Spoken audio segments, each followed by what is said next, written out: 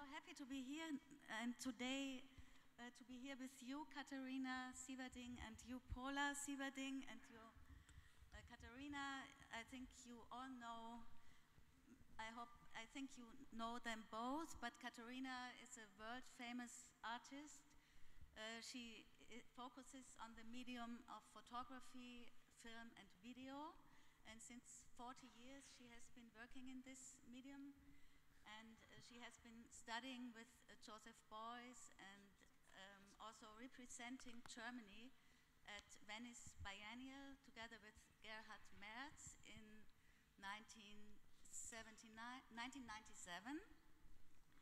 And uh, you immediately attracted attention with your work through radically um, putting your uh, putting your self-portrait in, into the center of the, of the work. And um, then the series that followed, the cycles that followed became more and more politically, uh, they de dealt with atomic, uh, the atomic catastrophe or the mad cow disease, etc. And uh, Pola, you are one of the most uh, promising multimedia artists of the younger generation. And you also work in the, world, in the medium of photography, film, and video. And uh, your work uh, centers or focuses on the on cultural, on the diversity and variety of cultural codes of cultures, of global cultures and subcultures of today, to be very uh, short in, in the beginning. And um, what is interesting as well, you have been, or you are currently uh, working as an artist in residence in politically virulent uh, regions like Ramallah or Belfast. Okay, so let's start with the first question. Katharina. Um, thank you. When did you know, Katharina, you would become an artist? And what does it mean to you until today? Um, yes, first, um, it was a long process, uh, and uh, so it was not spontaneous or uh, from one day to the other. Mm -hmm. First, I studied medicine. Um, I didn't know. Yeah. you could know from my work. Uh-huh, yes, you're right. And attitude. You're right. and um, then uh, I studied theater, and I was uh, also very early collaborating with um, uh, very famous directors. One example was uh, Fritz Kortner. So uh, I was here at the Münchner Kammerspiele. Uh, this was um, a piece by um, Gombrowicz, Die Trauung. But uh, as everyone in Munich knows, he was a very complicated and um, director with very high uh, demands. So uh, it was never, uh, it never came to um, a real performance. And then uh, he asked me to collaborate with him in um, in Vienna in the Burgtheater, okay. and that was in '64.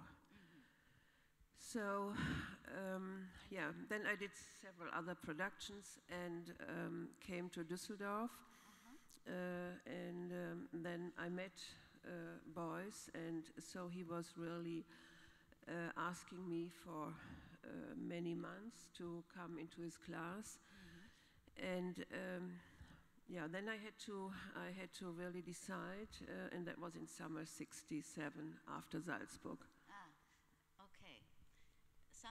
1947, we will come back to this uh, time, which is such a, has been such a, a revolutionary time then. But first, Pola, um, when did you know that you wanted to become an artist, and why? If the, how would you explain? Um, it was, I was actually into acting before I started to study art. Um, and it's funny because I never thought about that we have more in common than we actually. Uh, so? than yeah. I thought about okay. that you've been in theater and I was in acting school. Um, but after a while, I figured out that I'm um, much more interested in um, the, let's say, um, the stage in terms of culture, and that was basically the point where I started to switch into um, doing videos and, and photographies, and that eventually led to to the art school. Have there been discussions in the family as you are the daughter, the, the eldest daughter of a very, of two very artistic parents, as your father, Klaus Mettig, is one, is a video multi, multimedia pioneer? Have there been discussions about uh, Um, we discuss a lot, but it's never been a discussion whether I should or I shouldn't um, try to become an artist. But um, yes, there are a lot of discussions about what each of us is doing content-wise or like uh, what we are interested in. But it's never been. We never discussed uh, the point. Yeah, so it was not a topic at all. No. Yeah. Um, I can add. Uh, so I did a, um, an, I did a lot of um, teaching in um, in Asia and uh, Eastern Europe, and also Salzburg. And um, so I had to manage with three children to be there. So when they were very young, I took them with me, and um, so sort of. Day by day, they uh, experienced this teaching process and practice with uh, young people. And I think maybe this was uh, also some uh, inspiration or some uh, uh, connection to this profession. Yeah, I think because they grew up with it, it was Yeah, quite yeah. kind of normal to them. As your your sons, your two sons, Orson and Ossip, they, the one is already an artist, no, more more a mus- musician, and the other one has become a carpenter. So, yeah, it's it's a Yeah, yeah. But I think it was not a narrow family thing. Uh, So it was uh, as uh, how we were moving and doing things. So when there was a chance, we uh, they accompanied us, and so it was more. I think this whole process of communication with uh, younger generations. Um, so photography, video, and film are the media you both work with. Uh, When you started, Katharina, you have been one of the pioneers of artist photography in Germany. Uh, which aspects of the medium have been fascinating to you?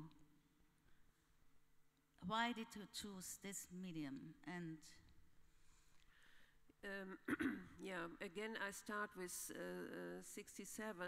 Uh, that was the moment when I was still working um, in Salzburg in the Zau Zauberflöte and Magic Flute. Yeah, and um, then I heard about uh, all these uh, riots and the, the rebellions and um, demonstrations in Germany. And in that summer, I decided um, I really uh, quit with the theater and all this um, sort of hierarchical uh, world, in, especially in Salzburg.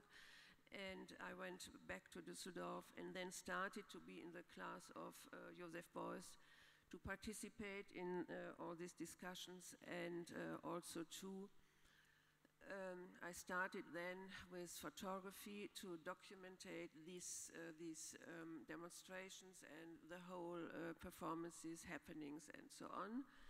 And uh, so I could, um, I could work visually and I could uh, participate, and also I published these uh, photographs um, overnight. Uh, I developed them and then published them at the wall of the academy so that everybody could um, uh, sort of participate and uh, look at it. So this, this, um, I think this was a very, very important moment.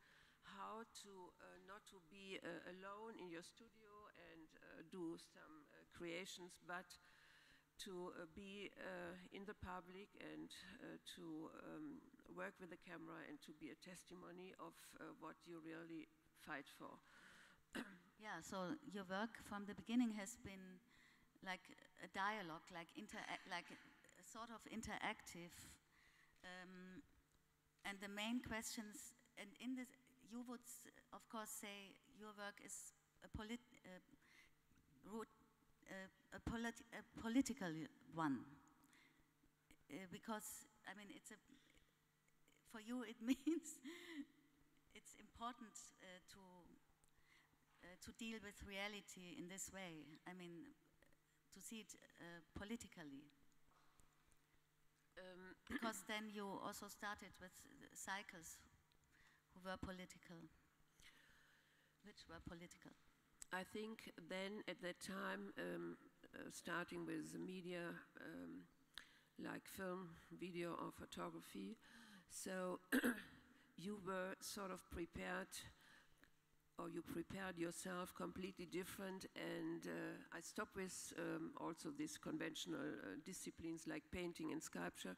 So you you immediately came into another shift of um, uh, critical theories about film and uh, so on and so on. Uh, and um, so it was also then um, real political um, uh, engagement that we founded. Some people from the Beuys' class, we founded this film class at the academy in Düsseldorf in the late 60s. So, and we, uh, we had uh, a theoretician from Cologne, uh, Albrecht, and uh, so we, we sort of had a completely broader field uh, than um, this monopolism of modernism. And, um, and uh, so, I mean, um, I think that media art um, is, uh, in general, always uh, political, yeah. Yes. Or, Pola? Um, yeah, Pola, what do you mean? How do you see it? What is Um, I think if you don't understand the p- political as a means of governing conflicts, the political is very much um, a question of context, because, of course, a work can be political because of uh, the content um, and because it might, may need a text and because it's not only uh, a formalistic or a static um, uh, work, but also such a work can be in a like a, a non-political work can be in a political context um, become political. So I think it's a constant um, process. Yeah. Yeah. So uh, yes, let's let's speak about Ramallah and your experiences then. I mean, was it, it they might have influenced your work, or maybe you started a new cycle. Could you tell us more about? I've been invited to Palestine um, in 2008, the first time as an artist in residence, and I've been there again this year in uh, spring to teach at the academy in Ramallah, which is a very young academy. Uh, they just right now have their first graduation show. Um, and the idea there was very much to, to figure out um, a notion of artistic research and whether that um, is any different than, than research in, in general. And basically, what I've done is uh, very much um, continuing my interest in, in performance. Um, I was researching about image production in, in Palestine, and there especially the performative aspect. And it's been the beginning of protests that, of course, were are connected to, to the Arab, so-called Arab uh, Spring. Um, and these protests, wherever they are, they all sort of need an image to, to communicate or to be the icon of that revolution. And so I was working very much about that, how um, this visual representation of that protest or, or revolution um, was constructed by the young people who were demonstrating.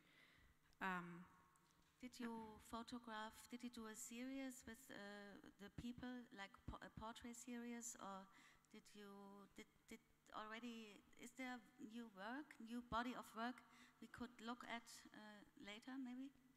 I am still working on an installation which will consist of film uh, or video material and, and still photography, um, and which will try to focus on the question of vi- visual representation or image construction a little bit more in general, which is quite interesting in that place anyway, because it's a highly political area, and of course, images are um, excessively used to to communicate or to bring across your um, idea of of uh, your political um, viewpoint. Um, but uh, I'm still working on it, basically. Yeah. And Katharina, um, this panel deals with the issue of authenticity. And I think in your work it's a central topic as well. So, um, how would you define authenticity? Um, yeah, I, I um, it's a, it's a complicated question because I'm not dealing uh, so much with authenticity, right? Because I think um, uh, I'm more I'm more dealing with the construction of uh, identity and whether this is authentic or not. Uh, so I think this uh, is a question, but. Um, I mean, even the, the whole uh, debate or discourse about identification or identity is um, so it's uh, sort of uh, um, no more that actual. I think that um, um, what what today interests me and what uh, how I started with uh, these sort of questions means that uh, I started, of course, with uh, these self-portraits and with these big um, um, interfaces of um, my face and. Uh, but uh, I mean, I never was interested that uh, everyone knows, ah, yeah, th- that's her or, or this. Um, so from the very first uh, moment, I tried to break um, with this uh, idea or this problem of authenticity. But um, maybe um, I try to construct um, the question. So I, I, I, can maybe say I can uh, support this question and the question that everybody has, uh, especially today, in between analog and digital worlds, and I think this is also issue of this uh, conference here. So, um, um, and I, th- I think in this complexity of questions, I sort of did uh, did a um, tribute to. Um, uh, some issues how you as an individual um, human being how you um, uh, move or how you um, yeah how you how what you are, what sort of um, Representation, so, sort of Yeah. representation of yourself, like in different roles and masks, or in different, uh, like it became very, very familiar now. I mean, we all uh, play different roles. We all have different images of and of ourselves and of representation, representing ourselves. So, I mean, like Madonna or Lady Gaga, this is now uh, a very, very common thing. Uh, and I think it changed the, the way of self perception. And maybe you have been dealing with these issues uh, very early. Yeah, but I'm always questioning these uh, phenomena, and um, um, so. Yeah, maybe Pola. yeah. Pola, maybe you have your own perception of this issue of authenticity and identity, or doesn't it matter to you at all? Well, again, I think um, authenticity very much happens in the um, tension between inten- intention and perception. So, as the political authenticity can matter, but it's I don't consider it to be a fixed um, entity. So, you know, although your intention might be authentic, I could perceive it totally uh, differently. Um, but I think it's it's within identity processes. It definitely is a question that is uh, important to that you ask yourself. Yeah. At what point uh, did you figure out? Although it might only be temporal, um, your role for, and even it's only for today. Yeah, did you ever have something like an identity crisis? To you No. both? I mean, it's quite normal to have one. I have, I've had many.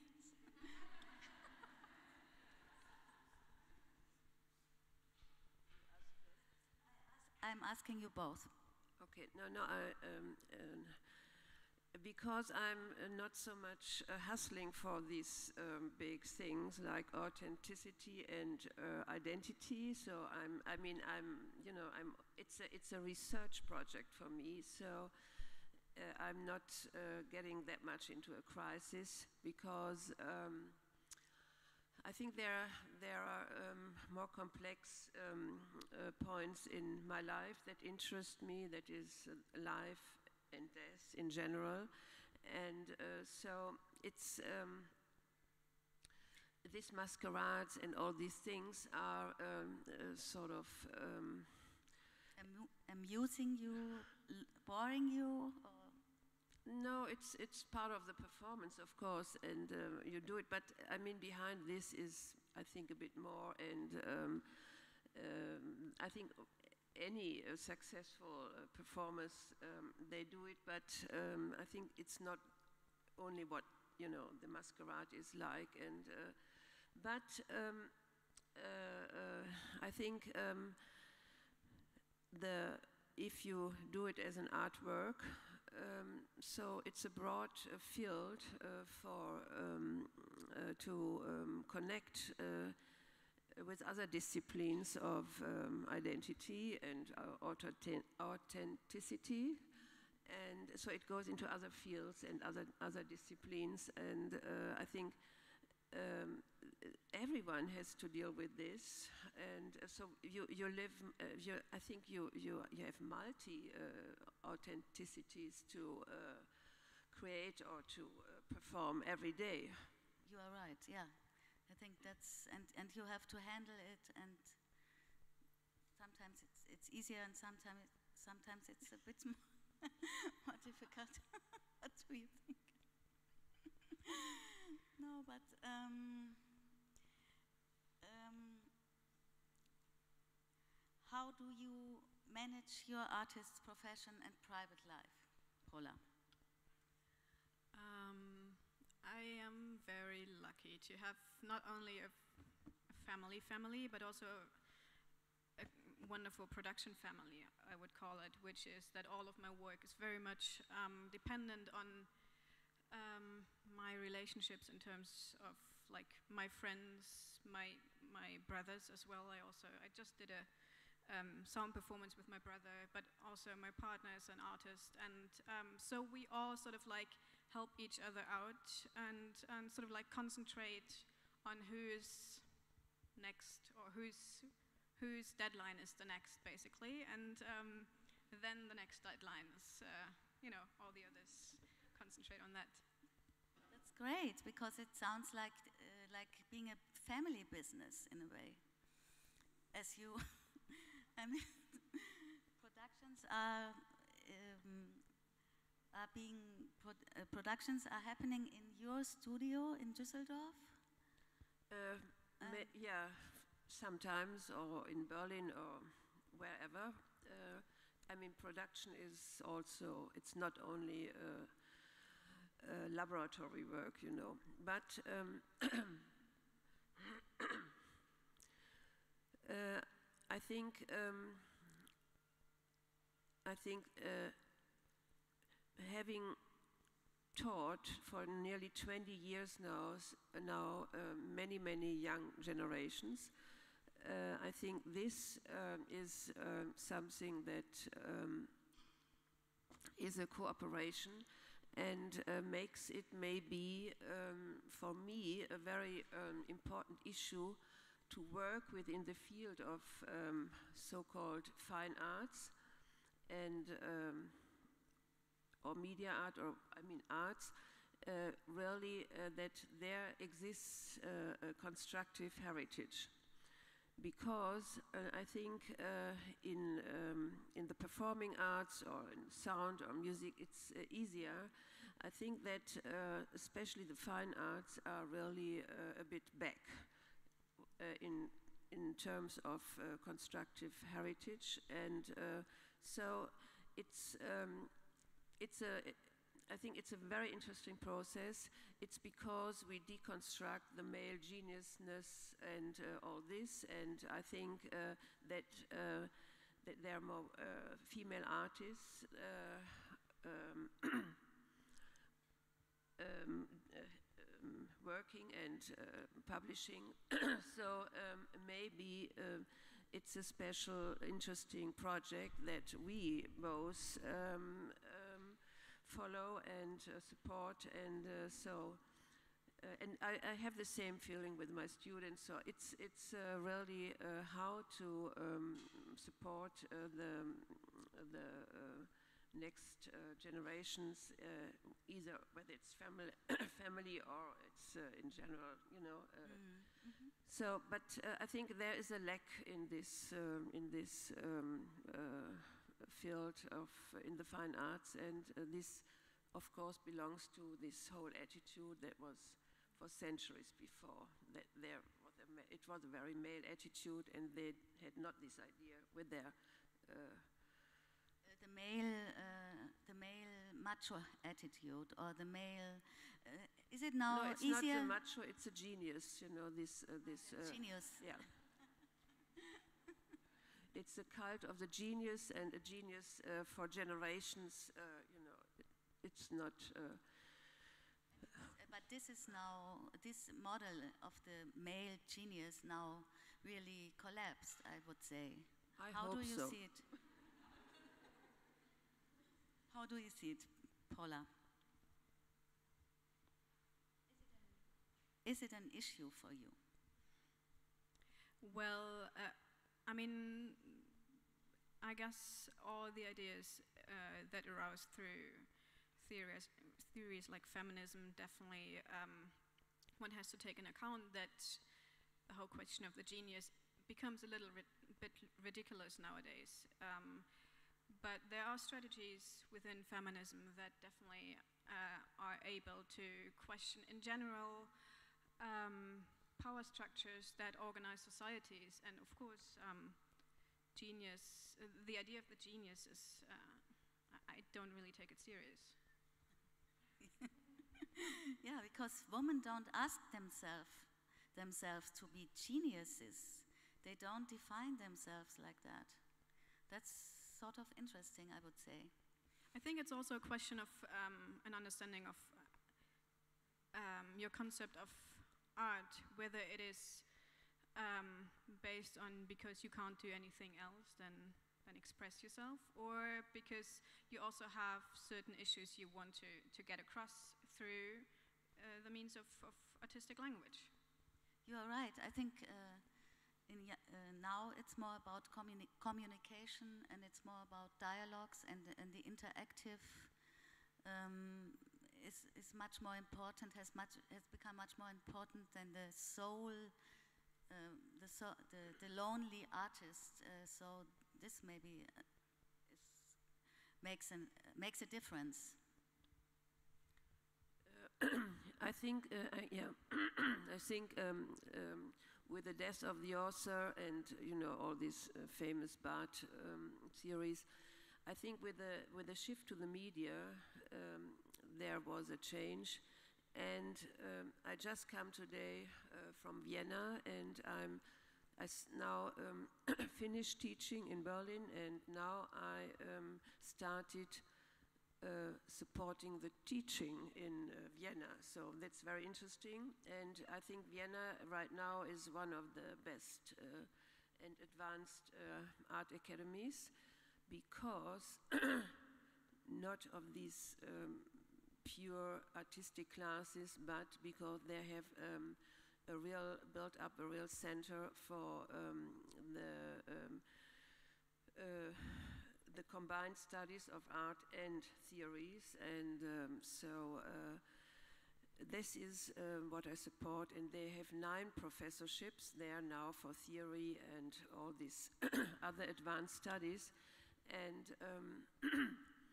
I think there, the, um, there is a completely the the the, um, the idea or the um, the image of an art uh, artistic profession today uh, gets more and more interdisciplinary and um, uh, and so it, it developed its own knowledge and uh, it developed its own and this this uh, also this um, uh, relationship with the science and all this. So it's uh, it's a real uh, real um, broad field, and um,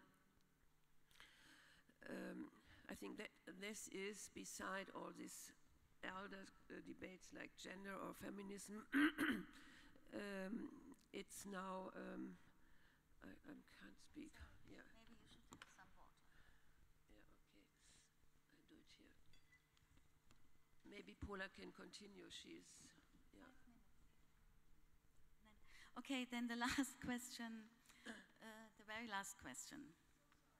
Okay, the very last question um, to you both. Uh, Katharina, what, um, Katharina and Pola, what are you admiring uh, from each other? What, what would you like to adopt from each other? I'm quick. Um, her generosity, her courage, and her sex appeal.